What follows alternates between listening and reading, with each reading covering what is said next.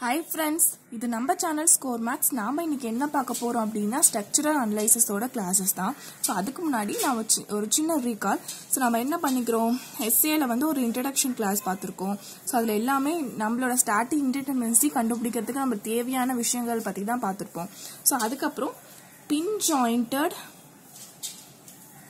Plain ஃப்ரேம்ஸ்க்கும் அதுக்கப்புறம் space ஃப்ரேம்ஸோட இதை பார்த்தோம். ஸோ அதில் வந்து அதில் வந்து ஃபார்முலாஸ் இருக்குது நம்மளுக்கு ஒரு த்ரீ ஃபார்முலாஸ் கிட்ட இருக்குது அதை நல்லா பார்த்துக்கோங்க. ரொம்பவே இம்பார்ட்டன்ட் நம்மளுக்கு ஒன் மார்க் இல்லை டூ மார்க்கில் கேட்க சான்ஸ் இருக்குது அதில் இந்த பிளேன்ஸ் வந்து ரொம்ப இம்பார்ட்டன்ட் அதில் எப்படி சம் சால்வ் பண்ணணும்னு உங்களுக்கு தெரிஞ்சிருக்கணும். ஸ்பேஸ் திங்கில் வந்து நம்மளுக்கு ஃபார்முலாஸ் தெரிஞ்சிருக்கணும். ஸோ இது நீங்கள் தெரிஞ்சுக்கிட்டீங்கனால தான் இந்த கான்செப்ட்குள்ளே போக முடியும். பிகாஸ் அது கொஞ்சம் டிஃப்ரெண்ட்டாக இருக்கும். இதில் கொஞ்சம் வேரியேஷன்ஸ் இருக்கும். இது வந்து என்னென்னா rigid jointed plane frames so ரெண்டு டைப் இருக்குது நம்மளுக்கு பின் ஜாயிண்டட் இருக்குது ரிஜிட் ஜாயிண்டட் இருக்குது இனிமேல் நம்ம பார்க்க போகிறது எல்லாமே ரிஜிட் ஜாயிண்டர் தான். ஸோ அதனால பின் ஜாயிண்டட் ஓரளவுக்கு கிளியர் பண்ணிக்கோங்க. நாம் இனிமேல் பார்க்க போகிறது rigid jointed plane frames so அதில் வந்து என்னென்ன இருக்கும் அப்படின்னா பீம்ஸும் நம்மளோட ரிஜிட் ஜாயிண்டட் தான். ஃப்ரேம்ஸும் நம்மளோட ரிஜிட் ஜாயிண்டட் தான். அதில் ஃபஸ்ட்டு நம்ம பீம்ஸ் பார்க்க போகிறோம் பீம்ஸ்லேயே நம்மளுக்கு நிறைய டைப் இருக்குது இந்த வீடியோ ரொம்ப பேசிக்கானது இது நீங்கள் தெளிவுபடுத்திக்கிட்டீங்கன்னா தான் நம்மளுக்கு வர இனிமேல் டிஃப்ரெண்ட் மாடல்ஸ் எல்லாமே பார்க்க முடியும். So beams beam can be considered at rigid jointed plane frame அப்படின்னு நான் சொல்லிட்டேன். ஸோ பீம் தான் நம்மளோட ஒரு பெரிய எக்ஸாம்பிள் பீம்ஸ் தான் நம்மளுக்கு ரொம்பவே இம்பார்ட்டன்ட் ஆனது. பீம்ஸ் கொடுத்து தான் அவங்களுக்கு ஸ்டாட்டிக் இன்டர்டென்மென்சி இல்லை கைனமேட்டிக் இன்டர்டென்மென்சி அப்படி கண்டுபிடிக்க சொல்லுவாங்க. நாம் வந்து ஃபஸ்ட்டு ஸ்டாட்டிக் இன்டர்டென்மென்சி கிளியர் பண்ணிக்கிட்டா தான் நெக்ஸ்ட்டு கைனமேட்டிக்குள்ளே போக முடியும். ஸோ அதனால் பீம்ஸ் வந்து நான் ரொம்ப தெளிவாக நடத்த போகிறேன் இது வந்து பேசிக்கானது ஸோ இந்த வீடியோ நம்ம பார்க்க போகிறது பீம்ஸோட லோடிங் கண்டிஷன் பொறுத்து நம்ம எப்படி ஸ்டாட்டிக் இன்டிடெர்மென்சி கண்டுபிடிக்கிறோம் அப்படின்றது தான். ஸோ எப்போதுமே ஸ்டாட்டிக் இன்டிடெர்மென்சி வந்து external static indeterminacy internal static indeterminacy so. அதுதான் நம்ம பின் ஜாயிண்டில் பார்த்தோம். இங்கே நம்ம பார்க்க போதும் அதுதான். ஆனால் ஒன்றே ஒன்று நம்மளுக்கு சேஞ்ச் ஆகுது. இன்டர்னல் ஸ்டாட்டிக் இன்டிடெர்மினன்சி வந்து நம்மளுக்கு ஜீரோ ஸோ பீம்ஸில் அது இருக்கவே இருக்காது. வெறும் நீங்கள் எக்ஸ்டர்னல் இன் இன்டிடெர்மன்சி மட்டும் கண்டுபிடிச்சி அது டோட்டலாக மாறிடும். ஸோ பீம்ஸ்க்கு ஸோ அப்போ பீம்ஸ் வந்து நம்மளுக்கு கொஞ்சம் ஈஸியாகவே முடியும். ஆனால் பட் என்ன காரணம்? இன்டர்னல் இன்டிட்டர்மென்சி வந்து ஜீரோ ஆகிறதுக்கு என்ன காரணம் அப்படின்னு பார்த்துடலாம் so internal indeterminacy is always zero or a beam is always internal determinate so பீமே நம்மளுக்கு இன்டர்னல் டிட்டர்மினண்ட்டாக இருக்கும்போது நம்மளுக்கு அங்கே எப்படி இன்டர்னல் இன்டி இன்டிட்டர்மினன்சி வரும். ஸோ அதனால தான் நம்மளுக்கு எக்ஸ் இன்டர்னல் இன்டிட்டர்மினன்சி வந்து ஜீரோ ஆகுது பிகாஸ் பீம் வந்து இன்டர்னல் டிட்டர்மினேட் ஸோ பீம் எல்லாமே உள்ளுக்குள்ளே ஒரு டிட்டர்மினேட்ஸ் பீம் ஸ்ட்ரக்சராக தான் நம்மளுக்கு ஆக்ட் ஆகுது. ஸோ அதனால நம்ம வந்து இன்டர்னல் டிட்டர்மினன்சி மட்டும் ஜீரோ அப்படின்னு எடுத்துக்கிறோம். மற்றபடி எக்ஸ்டர்னல் இன்டிட்டர்மினன்சி அதே தான் ஸ்டாட்டிக் இன்டிட்டர்மினன்சியும் அதே தான் ஸோ பீம் வந்து நம்மளுக்கு ஒரே ஸ்டெப்பில் வந்துடும் பிகாஸ் நம்மளுக்கு எக்ஸ்டர்னல் இன்டிட்டர்மென்சி மட்டும் கண்டுபிடிச்சா போதும். ஸோ அப்போ எக்ஸ்டர்னல் இன்டிட்டர்மென்சியோட ஃபார்ம்லாம் என்ன? அதுக்கு எல்லாத்துக்குமே ஒன்று தான். அது வந்து என்ன? சப்போர்ட் கண்டிஷன்ஸை பொறுத்து இருக்கும். That mean unknown reactions minus equilibrium reactions so அப்போ என்ன ஃபார்ம்லாம் நம்மளுக்கு மாறும்? ஆர் மைனஸ் த்ரீ அப்படின்னு நீங்கள் நினைப்பீங்க. நாம் அந்த ஃபார்ம்லாம் எடுத்துக்க போகிறது கிடையாது. நான் என்ன எடுத்துக்கிறேன்னா ஆர் மைனஸ் எஸ் அப்படின்னு எடுத்துக்கிறேன். எஸ் அப்படின்றது என்னன்னா நம்பர் ஆஃப் யூக்லிபிரியம் ரியாக்ஷன் இதுலேருந்து நம்மளுக்கு என்ன தெரியுது? த்ரீ அப்படின்னு நம்ம கன்ஃபார்மாக சொல்லிட முடியாது. பீம்ஸ்க்கு யூக்லிப்டியம் கண்டிஷன்ஸ் வந்து வேரி ஆகலாம்.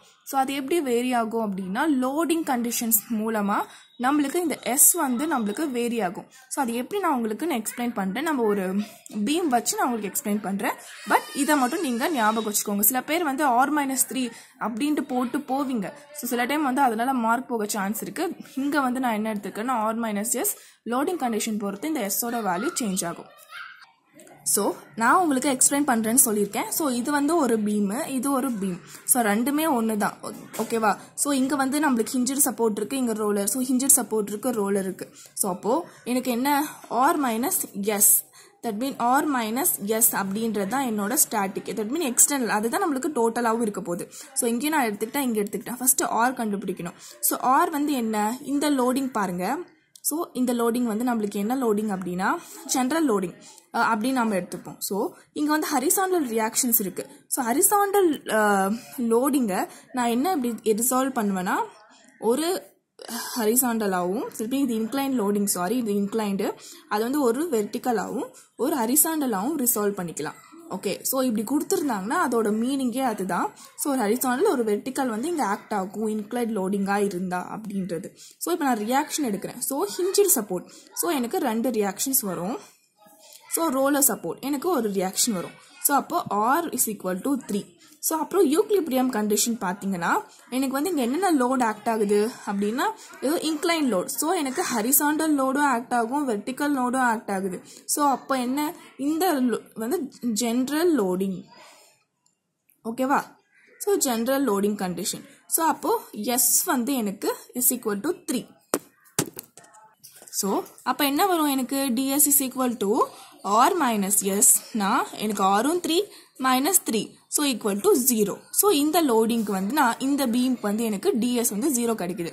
ஸோ அதுவே இந்த லோடு எடுத்துக்கிறேன் பாருங்க. ஸோ இந்த பீம் பாருங்க. இங்கே எங்கேயாவது வந்து இன்க்ளைட் லோடிங் வந்திருக்கா? இல்லை ஹரிசாண்டல் லோடிங் வந்திருக்கா? அப்படின்னு பாருங்க. ஸோ இந்த இந்த யூவிஎல்ல நீங்கள் வந்து ரிசல்டன் கண்டுபிடிச்சாலும் அது வந்து எனக்கு வெர்டிக்கல் லோடாக தான் வரப்போகுது. அதே போல் இந்த யூடிஎல்ல நீங்கள் ரிசல்டன்ட் எடுத்து பாயிண்ட் லோடாக மாற்றினாலும் எனக்கு வந்து ஒரு வெர்டிக்கல் தட் மீன் சாரி இது ஒரு வெர்டிக்கல் லோடாக வரப்போகுது. எனக்கு ஆல்ரெடி ஒரு வெர்டிக்கல் லோடு இருக்குது எங்கேயுமே எனக்கு ஹரிசாண்டல் லோடே கிடையாது. ஸோ அப்போ நான் என்ன எடுத்துப்பேன்னா இதை வெர்டிக்கல் லோடிங் கண்டிஷன்ஸ் மட்டும் எடுத்துப்பேன். பிகாஸ் எனக்கு ஹரிசான லோடிங்கே கிடையாது. ஸோ அதனால. ஸோ இப்போ இதுக்கு டிஎஸ் கண்டுபிடிக்கணும்னா அதே ஃபார்முலா தான் ஆர் மைனஸ் எஸ் ஸோ இங்கே ஆர் வந்து நம்மளுக்கு என்ன ஆகும் அப்படின்னா ஸோ இது ஆல்ரெடி நான் கண்டுபிடிச்சிட்டேன் வெர்டிக்கல் லோடிங் அப்படின்னு சொல்லிட்டு. ஸோ எனக்கு ஆல்ரெடி இங்கே ரெண்டு லோடிங் வந்திருக்கும். ஸோ இங்கே எனக்கு ஒரு லோடிங் வந்திருக்கும். ஸோ இந்த பீமில் எனக்கு வெர்டிக்கல் லோட் மட்டும்தான் இருக்குது ஹரிசாண்டல் லோட் கிடையாது. ஸோ அதனால ஹரிசாண்டல் ரியாக்ஷனை நான் கணக்கில் எடுத்துக்க மாட்டேன். ஸோ அப்போ என்ன வரும்? ஒன் ப்ளஸ் ஒன் ஸோ அப்போ இங்கே வந்து என்னோட ஆர் வந்து டூ ஸோ எஸ் வந்து என்ன ஆகும் அப்படின்னா இங்கே நம்மளுக்கு தெரியும் இது வெர்டிக்கல் லோடிங் வெர்டிக்கல் லோடிங்கில் ஹரிசாண்டல் ரியாக்ஷன்ஸ் கிடையாது. ஸோ அப்போ என்ன வரும்? F Y is equal to zero M is equal to zero F X இருக்கு இல்லையா ஸோ அது நம்மளுக்கு கிடையாது. So two so two equilibrium reaction தான். அதனால two minus two equal to zero so அப்போ உங்களுக்கு புரியுதுன்னு நினைக்கிறேன்.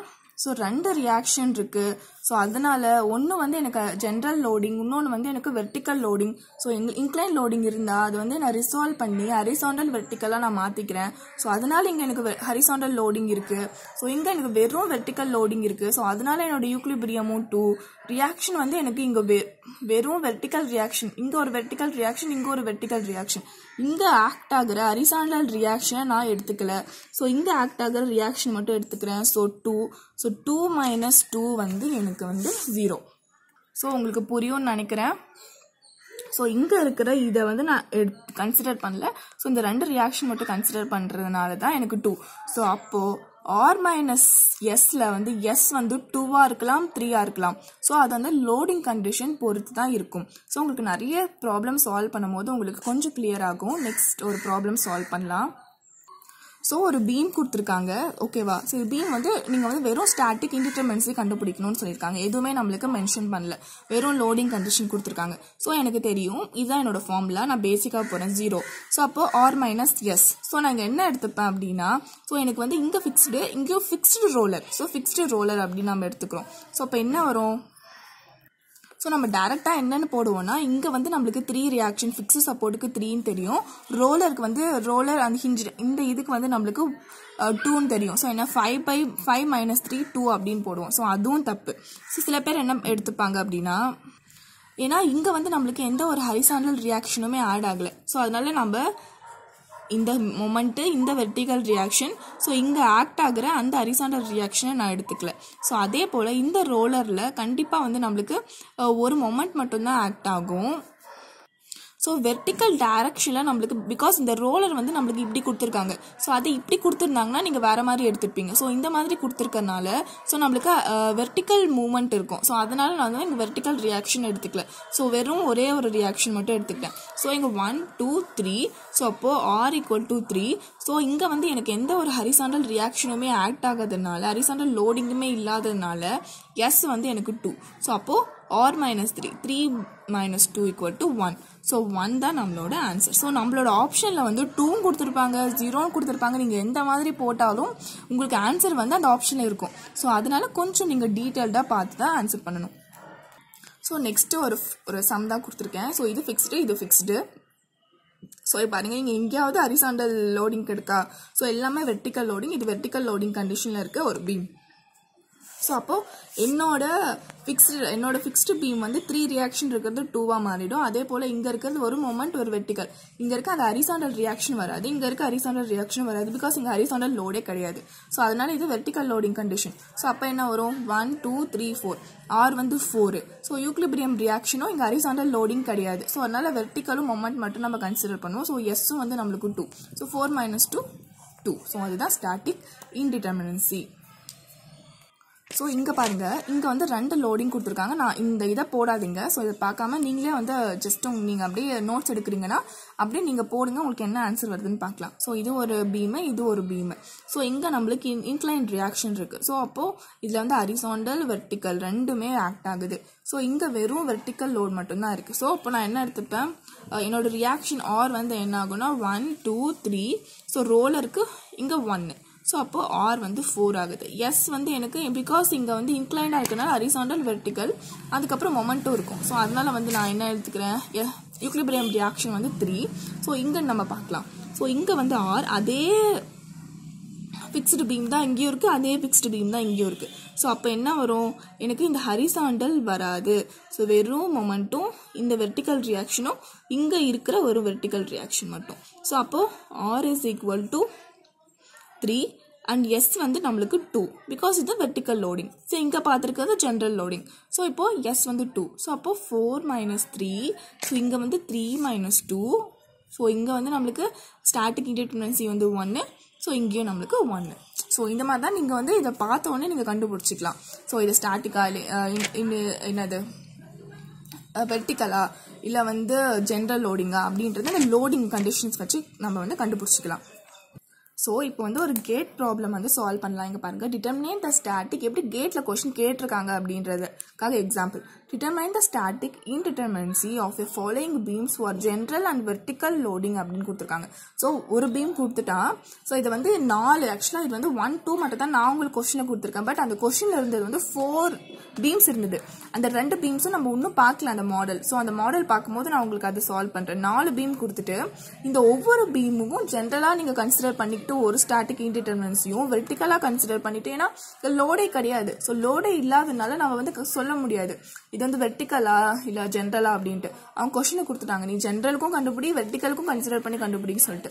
ஸோ ஆப்ஷனில் நம்மளுக்கு இந்த நாலுத்துக்கும் வந்து ஜென்ரல் ஸோ ரொம்ப கன்ஃபியூஸ் பண்ணுற மாதிரி இருக்கும். இது டூ மார்க்கில் கேட்டிருந்தாரு. ரொம்ப டஃப் இங்கே ஒன்று தப்பு பண்ணாலும் ஆப்ஷனில் வந்து அந்த ஆப்ஷன் இருக்காது. ஸோ அதனால நம்ம வந்து கொஷின் நல்லா படிக்கணும் பாருங்க. ஜென்ரலும் கேட்டிருக்காங்க வெர்டிக்கலும் கேட்டிருக்காங்க.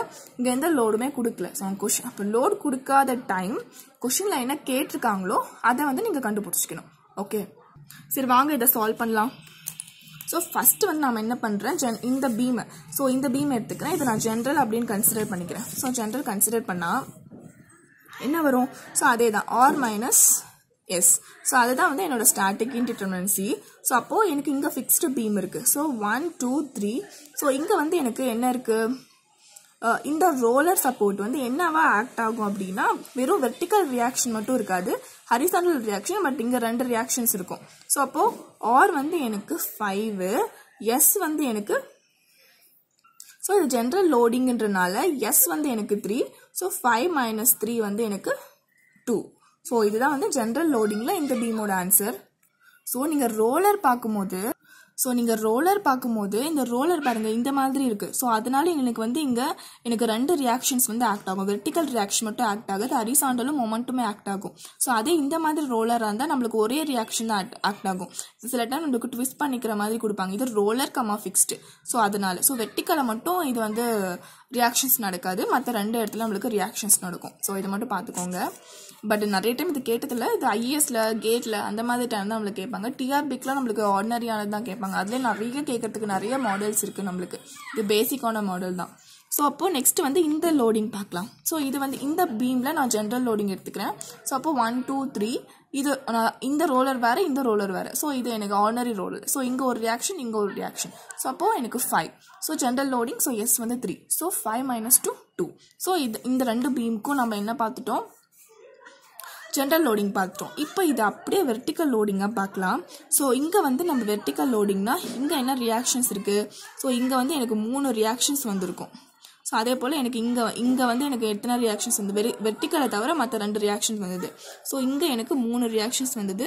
ஸோ இங்கே ஒரு ரியாக்ஷன்ஸ் இங்கே ஒரு ரியாக்ஷன்ஸ் கொஞ்சம் சொலப்பிடுச்சு கொஞ்சம் நீட்டாக இல்லை. நீங்கள் அப்படியே நான் நான் என்ன சொல்ல வரேன்னு உங்களுக்கு புரிஞ்சாலே போதும். ஓகே ஸோ இங்கே இருக்கு மூணு இங்கே ஒன் ஸோ இது ஜென்ரல் ஸோ இப்போது நான் இதை வெர்டிக்கல் லோடாக கன்சிடர் பண்ணும்போது நான் என்ன பண்ணுவேன்? வெர்டிக்கல் லோட் மட்டும்தான் அங்கே ஆக்ட் ஆகும். ஹரிசாண்டல் எந்த ரியாக்ஷன்ஸுமே இல்லை. ஸோ அப்போது எது எது கன்சி இது வராது. ஸோ இது வராது. ஸோ அது கூட இது வராது. மற்ற எல்லாமே வெர்டிக்கலில் தான் இருக்குது ஸோ அதனால் என்ன நான் எடுத்துப்பேன்? R minus S so R வந்து ஒன் டூ த்ரீ நான் இப்போ வந்து வெர்டிக்கல் கன்சிடர் பண்ணிகிட்ருக்கேன் இருக்கேன். Vertical loading one two three so three இங்கே ரியாக்ஷன்ஸாக என்ன ஆகும்? யூக்லிபிரியம் ரியாக்ஷன்ஸும் டூ ஆகும். ஸோ அப்போது ஒன் ஸோ அப்போது இது எடுத்துக்கலாம். One two three four so R minus S R வந்து ஃபோரு மைனஸ் டூ ஏன்னா வந்து நான் வெர்டிக்கல் லோடிங்கில் ஸோ அப்போது டூ ஸோ அந்த மாதிரி தான் போட்டிருக்கேன். உங்களுக்கு புரியும்னு நினைக்கிறேன். அந்த ஒரே பீமை. நான் என்ன எடுத்திருக்கேன்னா அரிசா ஜென்ரல் லோடிங்க்கும் எடுத்திருக்கேன். வெர்டிக்கல் லோடிங்க்கும் எடுத்திருக்கேன். உங்களுக்கு புரியும்னு நினைக்கிறேன். இது வந்து கேட்டில் கேட்டிருக்காங்க. வெறும் நாலு பீம் கொடுத்து ஒரு டூ மார்க் கொஷினாக கேட்டிருக்காங்க. ஓகே அந்த ரெண்டு பீம் வந்து நம்மளுக்கு இன்னும் இப்போ நான் ஒன்றும் இன்க்ளூட் பண்ணல. அது அந்த வேறு மாடல் ஸோ அதை நடத்திட்டு அந்த பீம் என்ன கொஷினோ அதே நம்ம சேர்த்து பார்த்துக்கலாம். ஸோ இதுக்கு வெர்டிக்கலும் நீங்கள் கண்டுபிடிக்கணும். அரிசாண்டல் பிகாஸ் இங்கே எந்த லோடிங்குமே இல்லை. ஸோ அப்படி லோடிங் இல்லாத டைமில் வந்து அவங்க வந்து மென்ஷன் பண்ணிடுவாங்க. சப்போஸ் மென்ஷன் பண்ணாமல் வெறும் ஒரு பீம் இருந்துச்சுன்னா நீங்கள் அதை ஜென்ரல் லோடிங் அப்படின்னு கன்சிடர் பண்ணியே கண்டுபிடிக்கலாம்.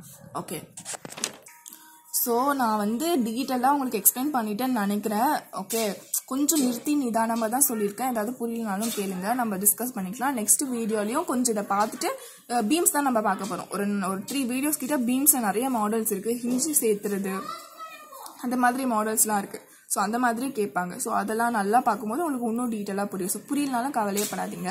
ஸோ இந்த ரெண்டு ப்ராப்ளம்ஸ் வந்து நீங்கள் போடுங்க. ஸோ இது ஹிஞ்சடு இது ரோலர் ரோலர் ஸோ இது hinge roller roller fixed so இது வந்து ஜென்ரல் லோடிங் கண்டிஷனுக்கு இந்த பீமோட ஸ்டாட்டிக் இன்டிடர்மென்சியும் டிஎஸும் ஸோ அதே போல் இதுக்கும் இது வந்து வெர்டிக்கல் லோடிங் கண்டிஷனில் வந்து இதுக்கான டிஎஸும் கண்டுபிடிங்க. ஓகேவா ஸோ இது கண்டுபிடிச்சிட்டு எனக்கு வந்து இது வந்து கொஷின் ஒன் என்ன ஆன்சர் வருது? டூக்கு என்ன ஆன்சர் வருது அப்படின்றத கமெண்ட் பண்ணுங்கள் ஸோ எத்தனை பேர் எவ்வளோ கரெக்டாக ஆன்சர் பண்ணுறாங்க அப்படின்றத பார்க்கலாம். ஸோ இந்த வீடியோ உங்களுக்கு யூஸ்ஃபுல்லாக இருக்கும்னு நினைக்கிறேன். நெக்ஸ்ட்டு வீடியோவில் பார்க்கலாம். ஸோ ஏதாவது உங்கள் ஃப்ரெண்ட்ஸும் வந்து இந்த மாதிரி டிஆர்பிக்கு இல்லை சிவில் இன்ஜினியரிங் எக்ஸாமுக்கு ப்ரிப்போர் பண்ணுறீங்கன்னா நம்ம வீடியோஸ் வந்து உங்களுக்கு உங்களுக்கு யூஸ்ஃபுல்லாக இருந்ததுன்னா அவங்களுக்கும் யூஸ்ஃபுல்லாக இருக்கும்னு உங்களுக்கு தோணுச்சுன்னா நீங்கள் அவங்களுக்கு ஷேர் பண்ணுங்கள் ஓகே ஸோ நெக்ஸ்ட் வீடியோவில் பார்க்குறேன். தேங்க்யூ